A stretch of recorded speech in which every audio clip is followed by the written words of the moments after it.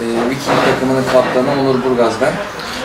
Ee, maç iyi başladık maça. Cemal'in ekstralarıyla öne geçtik. İlk yarı 8 tane attık. Cemal'in gene ekstralarıyla 14-2 kazanmayı bildik. Peki teşekkür ederim. Önümüzdeki maçlarda başarılar dilerim. Teşekkür ederim.